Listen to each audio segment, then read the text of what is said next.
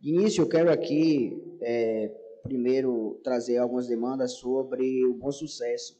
Né? Tem um grupo do WhatsApp aí que me colocaram, a qual a população vem reivindicando que a patrolagem da localidade do Bom Sucesso e vem reivindicando iluminação e recolhimento de lixo.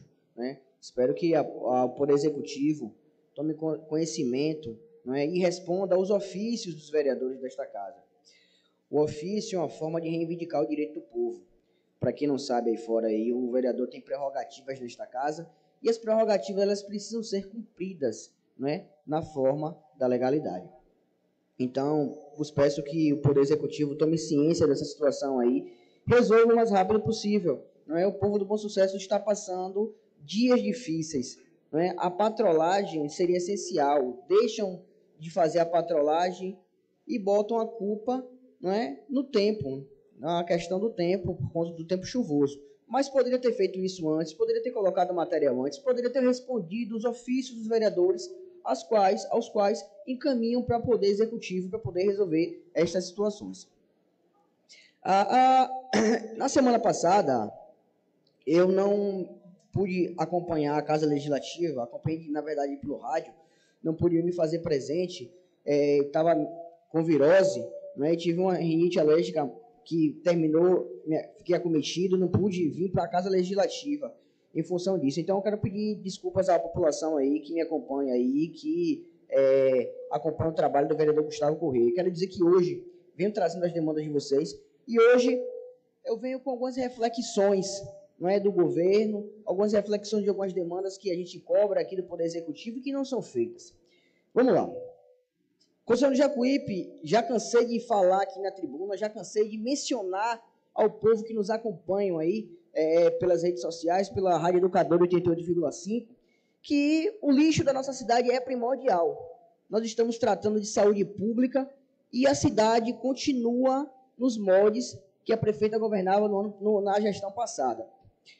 Eu rodei Conceição do Jacuípe, né, de ponta a ponta, da Getúlio Vargas, fui no Bessa, fui no Picado para saber como é que está o acompanhamento da limpeza pública em nosso município. Pude ver que o povo está passando dificuldades. Próximo ao São João, e o povo ainda continua nessa labuta da limpeza pública em nosso município. Enquanto não tiver uma empresa digna, de qualidade, que faça a limpeza pública, né, que trate com prioridade a limpeza do nosso município, nós não vamos para frente. Essa questão da limpeza pública é muito simples. Quando acabar os conchavos políticos, quando acabar essa questão de devolver dinheiro por baixo do pano, quando acabar essa questão de propinagem, nós vamos conseguir andar, nós vamos conseguir caminhar de forma digna em nossa cidade. Eu não entendo como é que um lixo, não é como é que uma empresa licita, que é licitada no município consegue ganhar e consegue se manter as mesmas pessoas durante dois anos e meio. Isso é uma vergonha para o nosso município. O molde de Conceição de Jacuí precisa mudar. Essa politicagem de receber propina, de ficar fazendo acordo político, isso precisa acabar. E digo isso abertamente, sem medo do que eu digo neste exato momento. É uma vergonha para a Constituição de Jacuípe ficar neste modo. E o povo de, de Birimbau que precisa pagar por essas irresponsabilidades. Né? Aí temos aí os laranjas que recebem dinheiro por baixo do pano e que fazem um trabalho péssimo em nosso município. Eu quero aqui reafirmar que a mídia da prefeitura, o setor midiático, não é? que gosta de espalhar por aí fake news, ou gosta de espalhar por aí não é? é tendências à melhora de concessão do Jacuípe. Não é? Dizer que mostrar ao Instagram e mostrar ao povo da cidade que a prefeitura está trabalhando de forma eficiente, que faz e acontece. Foi publicado aí na prefeitura um, um uma matéria, uma, perdão, uma, uma, publicação que falava sobre o 13 terceiro salário, uma matéria, que falava sobre o 13 terceiro salário que seria pago. E eu pergunto a vossas excelências aqui desta casa, será que todos receberam o 13 terceiro salário?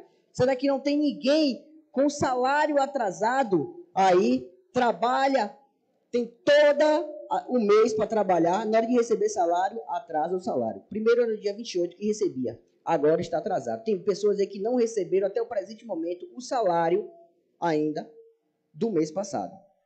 E eu posso confirmar isso. Agora, é difícil eu chegar e apresentar nomes aqui para a prefeitura não querer não é? enforcar os servidores públicos, dizer como é que você conta isso para os vereadores, como é que passa as informações. É um absurdo isso, né? Aí vejo aí que nós estamos voltando a 1944, na Segunda Guerra Mundial, onde a ditadura prevalecia e ninguém poderia se manifestar, o direito de expressão era, era retirado do povo da, da, da terra. Então o país era difícil poder se expressar e mostrar o que as irregularidades que o governo fazia. A mesma coisa eu vejo hoje. Uma, um governo que se diz ser democrático, né, disfarçado de ditadura, onde você não pode reivindicar seu direito. Se eu chegar hoje na prefeitura, um cidadão chega na prefeitura e disser que não está recebendo seu salário, provavelmente pode ser colocado para fora. Né? Provavelmente vai ter, vai sofrer represálias. Aí temos aí as secretarias aí que ficam botando todos os funcionários debaixo do pé. Uma vergonha para a concessão do Jacuípe ainda tratar o povo dessa forma e ainda continuar governando desse jeito. É muito importante fazer o São João da nossa cidade. Isso, de fato, é importante. Nós temos que fazer sim. Né? Mas eu queria que a prefeita desse a mesma providência que dá em fazer o São João, que se empenha em fazer o São João e gastar o dinheiro público, né? gastar o dinheiro do povo fazendo festas, os festas juninos. Eu gostaria que a prefeita tivesse o mesmo empenho para pagar o povo em dia, para botar remédio nos PSFs, né? O, de, o décimo terceiro, que era para ser pago, não é que eu falei aqui sobre o salário que estava atrasado, o décimo terceiro, muitas pessoas, vereador Rinaldo, não recebeu, não é? O pessoal do REDA não recebeu, o pessoal do REDA vem constantemente me reivindicar aqui esse direito, não é? Por que pagam algumas pessoas e não pagam outras? Me explique isso aí, como é que funciona essa forma de pagamento, não é? Isso é uma vergonha, isso é uma vergonha, eu me sinto envergonhado em ter que trazer isso para a tribuna. Um governo que tem dinheiro, onde a prefeita tem 100% de suplementação. Né? Ah, eu tomei conhecimento também aí na live da prefeita, onde é, o que importa, na verdade, para o governo é fazer mídia, é dizer que as coisas acontecem e que está trabalhando. A prefeita anunciou aí na sua live e disse com as próprias palavras que tinha feito mais de 200 mil metros de pavimentação. 200 mil metros de pavimentação é maior que a circunscrição do município de Conceição do Jacuípe, 200 mil metros de pavimentação. A prefeita falou isso na live. Eu estou com o vídeo dela aqui. Eu quero saber se é metros quadrados, porque ela disse metros. Você vai em Salvador e volta de pavimentação. Nem isso ela consegue explicar na live dela. Nem consegue explicar que seria metros quadrados.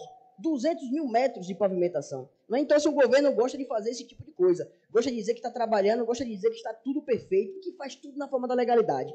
Mas quem está fiscalizando o governo sabe das realidade, da realidade do povo. Sabe aí que nós estamos enfrentando dias difíceis em nosso município. Se aproxima São João, a cidade suja, iluminação pública a gente cobra, nunca é respondido pela prefeitura. A gente cobra extrato bancário de pagamento, não é como é que está sendo gasto o dinheiro, leva mais de 30 dias para responder. Quando responde, então é uma vergonha. Essa Casa Legislativa fica debaixo do pé do Poder Executivo. E sempre dessa forma. Sempre a gente precisa aqui trazer para a tribuna e tratar esses assuntos da tribuna, expor na tribuna. É uma vergonha, isso é uma vergonha, é uma vergonha para o nosso município. Quero aqui agradecer ao povo da minha terra e dizer que Continuem ligados aqui na Casa Legislativa e que a verdade sempre vai sair. O discurso aí que dizem por aí, que é o discurso de perseguição, que é o discurso de ódio, é o discurso que a gente fala a verdade. É o discurso que a gente traz a necessidade do povo aqui, trata com dignidade. A gente não precisa ficar maquiando a realidade lá fora. Não precisa ficar aqui menosprezando o povo, não é? O povo que necessita do poder público para poder sobreviver. Quero mandar um abraço a todos aí, agradecer mais uma vez ao povo e forte abraço até a semana que vem.